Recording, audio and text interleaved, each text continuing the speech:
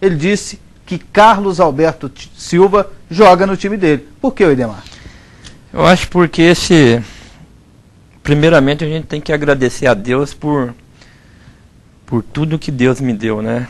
Assim, por tudo que ele me proporcionou, o que ele tem realmente me proporcionado, as alegrias de uma coisa assim que eu amo, que é o futebol, né?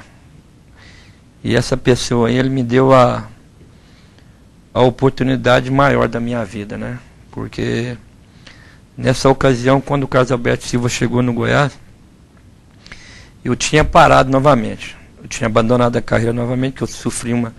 Tive um problema na perna, na coxa. Era um problema gravíssimo, que eu tinha que fazer uma raspagem no osso. E aí, eu muito garoto, da idade de 17 anos já.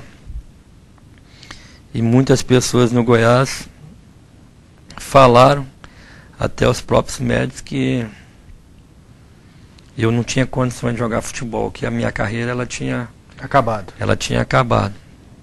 E eu sempre pensei diferente. Porque eu sempre tive um, um psicológico, uma força do psicológico muito forte. Nada me abate, pode me derrubar, mas eu consigo levantar. E eu fiz uma cirurgia, fiquei, fiquei parado um, quase um ano depois de, de muita insistência.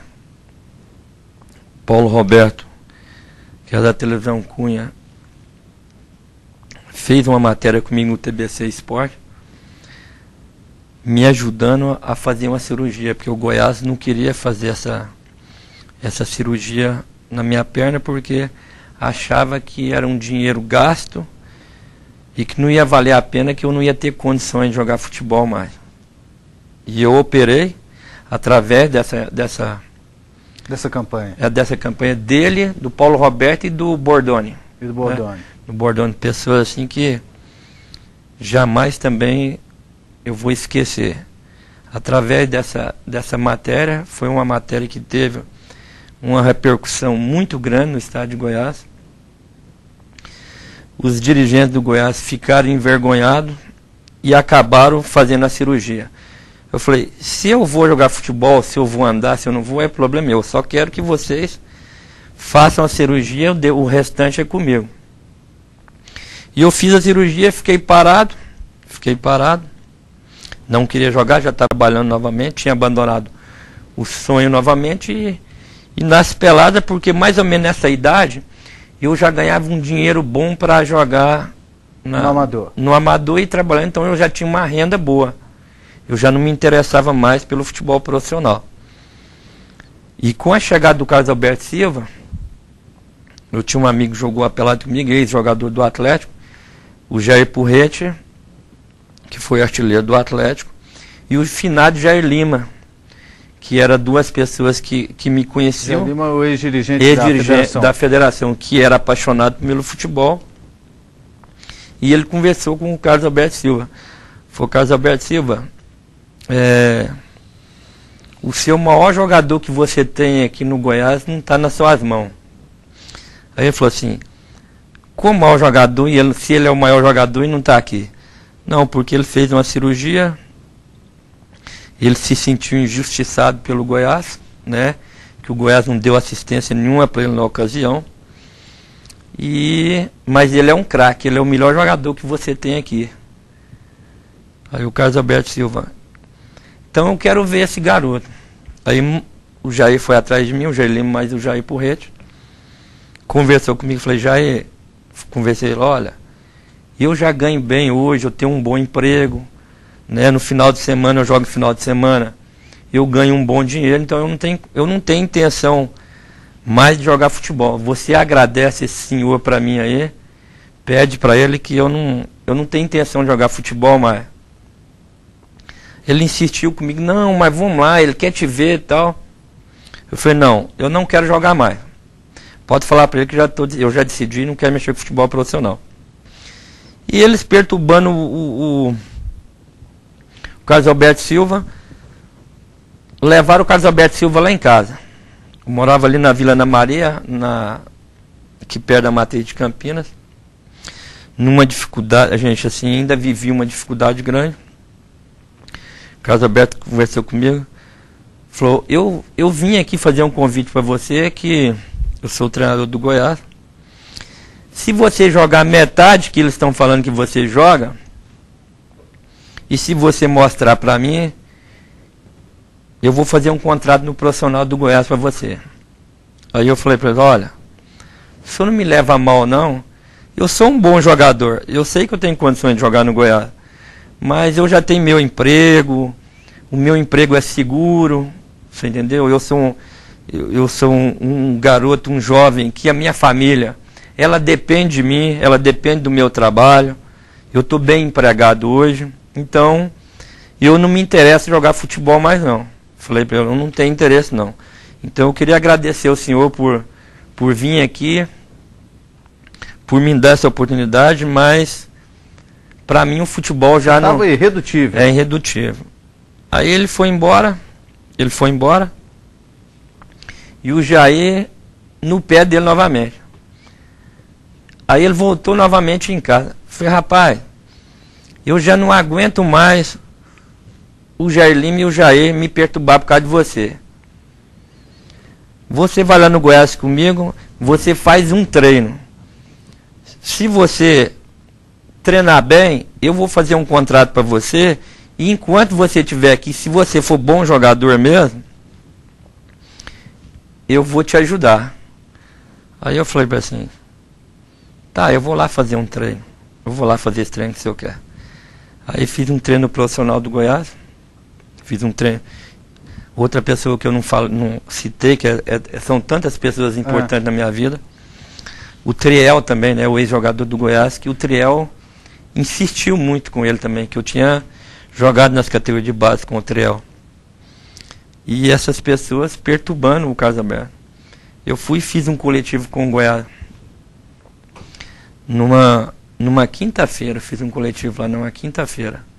Ele, ele, ele falou, qual é a posição que você joga? Eu falei, eu jogo como um, um, um volante, né? Como volante. Falou, tá bom, chegou no treino, ele me pôs no, no, no profissional treinar de lateral direito. Aí eu joguei demais. Falei, eu acho que. Falei, essa é a oportunidade da minha vida que eu estava precisando. Aí fiz um coletivo fantástico. fantástico. Quando acabou o treino, ele falou para mim assim, olha, nós vamos descer lá na, dire, lá na, na diretoria do, nunca me esqueço disso, assim, às vezes até me me emociona um pouco porque esse homem assim, ele foi muito importante na minha vida, né? Deus é muito, é muito importante na vida da gente. Mas esse me desculpa aí um pouco. Mas esse Senhor é muito importante na minha vida.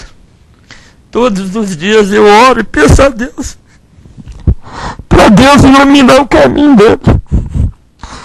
Hoje eu falo, se ele precisar de mim, precisar de um órgão do meu corpo hoje, no caso de uma doença, de qualquer coisa, eu sou capaz de dar qualquer coisa do órgão do meu corpo para que esse Senhor possa viver eternamente aí. Então, uma pessoa assim, importante que jamais, jamais eu vou esquecer. Aí ele te levou lá para assinar o contrato? Levou depois do treino e falou assim: Meu filho, você, você é tudo e muito mais do que essas pessoas falaram. Você é jogador de seleção brasileira. Você é jogador de seleção brasileira. E você vai chegar na seleção. Eu não tenho dúvida disso.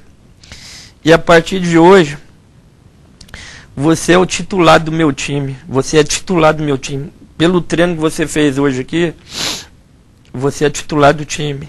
Aí começou a minha a minha trajetória de, de alegria, de sucesso, né? Depois disso eu só tive eu só tive alegria no Goiás, né? De uma assim uma uma, uma regularidade impressionante, né? Tem até uma matéria interessante que eu até mostrar aqui, que eu vi da, da revista Placar, revista Placar antiga, daquela, daquela época. Aí, ó, Hei de Vencer. É, tá aí a sua foto, Hei de Vencer. você já fazia, você já tinha essa energia, né, de que você ia, ia vencer, né, Edemar? Eu não tinha dúvida, assim, eu só precisava de uma de uma oportunidade, né? Porque é igual eu falei para você, eu vim de uma família muito pobre, né? É. E que eu sabia que através de mim, a minha família, através do futebol, eu ia ter condições de ajudar um pouco a minha família, né? Porque foram os períodos assim também que o futebol ele não se ganhava bem como se ganha hoje, é. né? Mas mesmo assim deu para mim conseguir fazer uns contratos e, e, crescer, né? Fazer assim uma minha a minha independência financeira. Graças a Deus, hoje eu sou um homem assim, em termos financeiros, eu tenho a minha a minha vida certinha, correta, mas tranquila. Pude ajudar a família? Pude ajudar a família porque eu sempre fui muito profissional, né? Eu sempre amei assim a minha carreira mais do que tudo na vida, por tudo que eu vivenciei. Então, eu sabia que o futebol era a única oportunidade que eu ia ter para me me realizar minha vida, realizar o meu sonho de atleta certo. e me realizar financeiramente.